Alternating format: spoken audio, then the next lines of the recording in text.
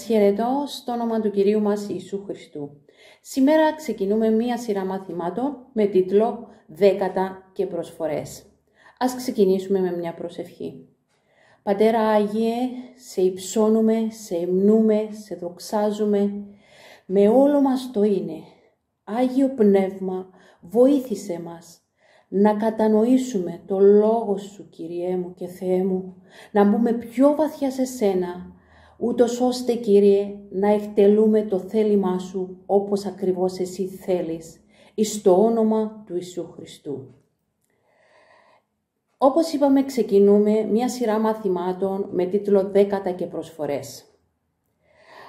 Στον Οσιέ 4 και 6 μας λέει ότι ο λαός μου εμφανίστη δια έλλειψη γνώσεως. Επειδή εσύ απέρριψα τη γνώση και εγώ απόρριψα σε από του να ιερατεύεις εις εμέ. Άρα λοιπόν θέλουμε να γνωρίσουμε τον Κύριο, το Λόγο του Κυρίου όπως ακριβώς είναι. Θέλουμε να μπούμε πιο βαθιά μέσα στον Κύριό μας για να εκτελούμε το Άγιο θέλημά Του. Δεν θέλουμε να έχουμε τη γνώση του κόσμου, διότι η γνώση του κόσμου φυσιεί, φουσκώνει τα μυαλά. Αλλά η γνώση του Θεού μας αυξάνει και μας παίρνει βαθιά μέσα στον Κύριο. Δεν θέλουμε σήμερα να ακούσουμε ανθρώπινο λόγο, αλλά θέλουμε να μάθουμε και να ακούσουμε ακριβώς το λόγια του Θεού, το Λόγο του Θεού σχετικά με αυτό το ζήτημα. Τι είναι ο δεκατισμός; Είναι οικονομικό θέμα ή πνευματικό ζήτημα; Αν, ας πάμε στις παροιμίες 3 και δάφιο 9. Τίμα των Κύριων από τον υπαρχόντος σου και από τον απαρχόν πάντων των κινημάτων σου. Βλέπουμε ότι είναι θέμα τιμής, διότι μας λέει να τιμήσουμε τον Κύριο. Τι σημαίνει τιμή; Τιμή σημαίνει ότι απονέμω κάτι σε κάποιον, σε ένδειξη αναγνώρισης και σεβασμού. Άρα λοιπόν είναι η εκδήλωση της εκτίμησής μας και της αγάπης μας προς τον Κύριο, το να δίνουμε σε Αυτό. Με το δεκατισμό, δεκατίζοντας έτσι, φανερώνεται η πνευματική μας κατάσταση στον τομέα της πίστης και της εμπιστοσύνης μας προς τον Θεό. Τι είναι το δέκατο; Το δέκατο είναι 10% από τον εισοδημάτο μας. Το πρώτον δέκατο από τα εισοδήματά μας. Και όταν εννοούμε τα εισοδήματά μας, εννοούμε το ακάθαρτο εισόδημά μας. Δηλαδή, μόλις πάρουμε το μισθό μας, πριν ακόμα βγάλουμε οτιδήποτε ποσό από μέσα από τον ακάθαρτο μισθό μας, πριν αφαιρεθούν οι κοινωνικές μας ασφαλίσεις, οποιοδήποτε άλλοι φόροι, ε, για οποιοδήποτε άλλο ταμείο, ο Κύριος μας θέλει το πρώτον δέκατο, αυτόν του ανήκει. Γιατί μας λέει στο Λεβιτικό 27 και δάφιον 30 και παν δέκατον της γης, είτε εκ του σπόρου της γης, είτε εκ του καρπού του δέντρων, του Κυρίου είναι, είναι Άγιον εις τον Κύριο. Άρα λοιπόν το δέκατο δεν μας ανήκει, ανήκει εις τον Κύριο. Είναι Άγιον σε αυτό. Θα εξηγήσουμε λίγο περισσότερα για το δέκατο, πώς το αφαιρούμε από το μισθό, από όλα τα εισοδήματά μας και τι είναι το δέκατο. Όπως είπαμε, αφαιρούμε πρώτα το 10% από το ακάθαρτο εισόδημά μας. Οτιδήποτε εισέρχεται στα χέρια μας, στην κατοχή μας σε χρηματικό ποσό, ε, από εκείνα τα λεφτά, από εκείνο το εισόδημα πρέπει να αφαιρέσουμε πρώτα απ' όλα, πριν από οτιδήποτε άλλο, το δέκατο. Δηλαδή, είναι πολύ εύκολο να το κάνουμε.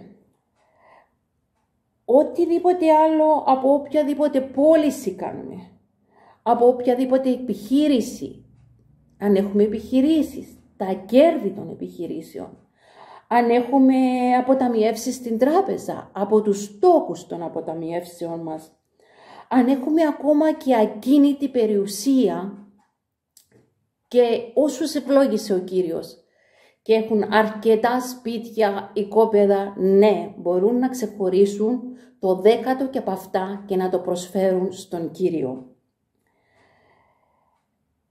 Επίσης, αν κάνεις μία πώληση, αν παραδείγματος χάρη πωλήσεις το αυτοκίνητό σου, δεν θα δεκατήσεις από ολόκληρο το ποσό που θα πάρεις, αλλά θα δεκατήσεις αφού πρώτα αφαιρέσεις τα έξοδα της αγοράς του αυτοκινήτου και μετά θα βγάλεις το δέκατο.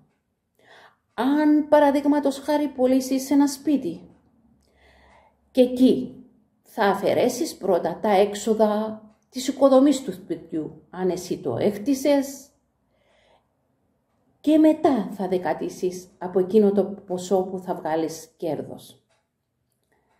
Έτσι είναι ξεκάθαρο τι είναι το 10%, είναι πολύ απλό.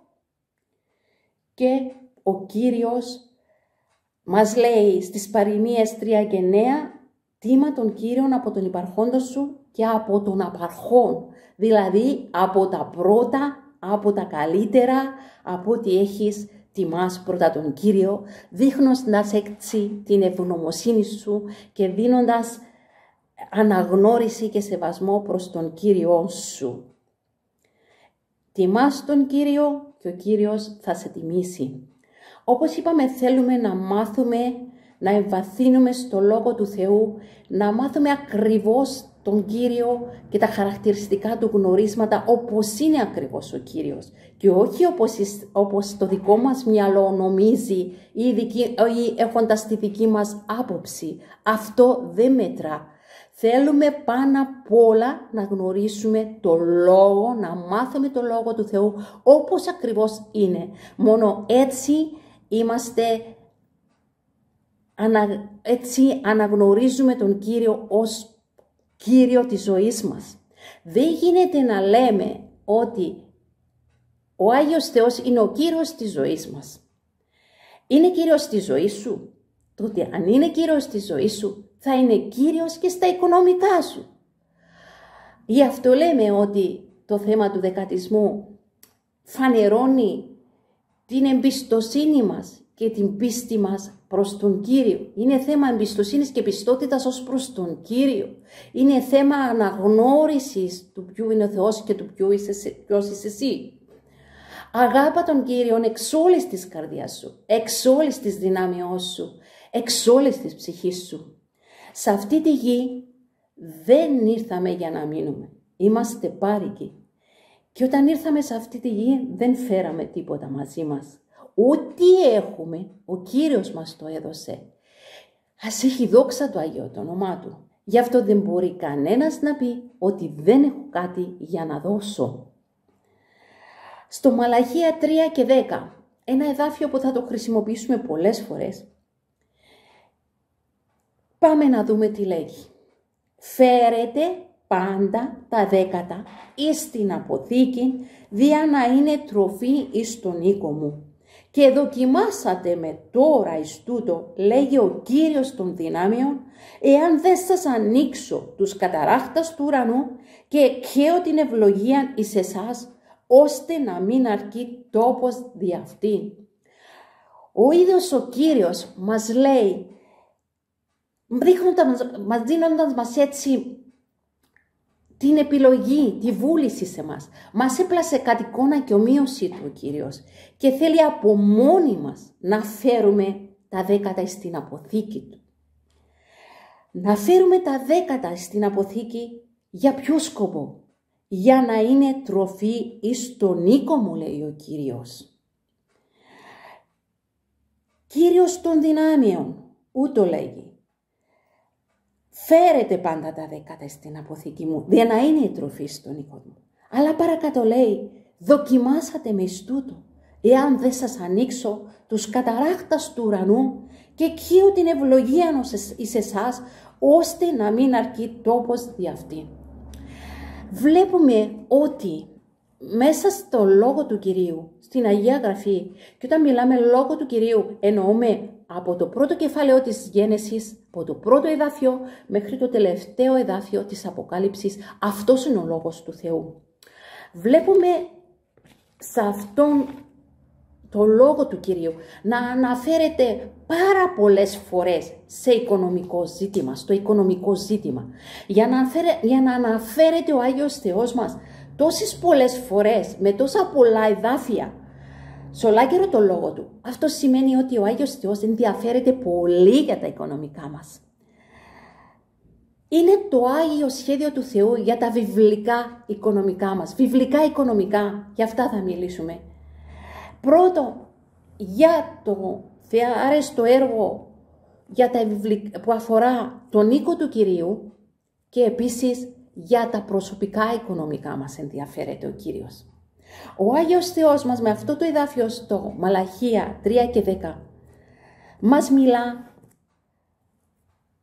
ότι φέρνοντας τα δέκατα θα υπάρχει τροφή στον οίκο του. Αυτό είναι το σχέδιο του Κυρίου για να στηρίζονται οι εργάτες του, για να υπάρχει εκκλησία στον οικονομικό τομέα. Αυτό είναι το σχέδιο του Θεού. Θέλει τα ίδια τα παιδιά του να φέρνουν τα δέκατα, να επιστρέφουν πιο σωστά τα δέκατα, γιατί τα δέκατα ανήκουν στον Κύριο, να τα επιστρέφουν στον οίκο του Κυρίου, για να συντηρούνται οι εργάτες του Κυρίου, για να συντηρείται η Εκκλησία με δέκατα και προσφορές. Και επειδή η φύση του Άγιου Θεού μας είναι αγάπη, είναι τόσο καλός ο Άγιος Θεός μας, που ενδιαφέρεται προσωπικά για τον καθένα μας, δεν θέλει να έχει στέρηση ο κάθε πιστός. Ο Άγιος Θεός μας θέλει ο κάθε πιστός να ευημερεί. Γι' αυτό μας λέει, δοκιμάσετε με εις τούτο, λέει ο Άγιος Κύριος στο Μαλάχια 3, 10. Αν δεν σας ανοίξω τους καταράχτες του ουρανού και εκεί ότι την ευλογία είναι σε εσάς, όχι μόνο θα εκεί την ευλογία σε μας, αλλά θα έχουμε μια τέτοια ευλογία που δεν θα υπάρχει τόπος για να βάλουμε αυτή την ευλογία στα οικονομικά μας.